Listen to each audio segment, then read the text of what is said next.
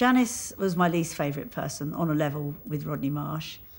Janice saw me as competition, purely and simply. She saw me as competition.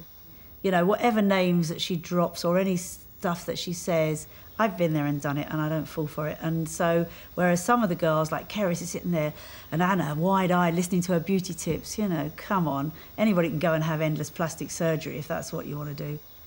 If she'd gone out today, I would have been absolutely courteous. And she was discourteous, and I think it says it all, really. There's this mean streak that actually, however compassionate I feel towards her, would always stop me being a friend. I, I, I didn't appreciate her at all. There was nothing about Ronnie that made me happy.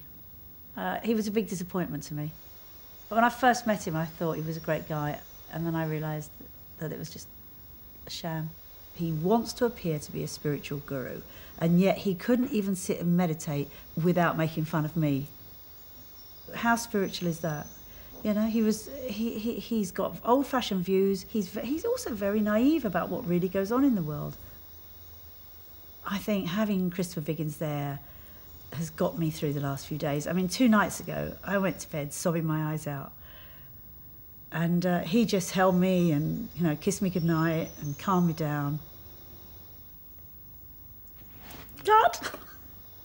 Something very special happened between me and him. And I know we're going to be very close afterwards. We've already got our first dinner planned with mutual friends. We know where we're going. We're going to do it the week we get back.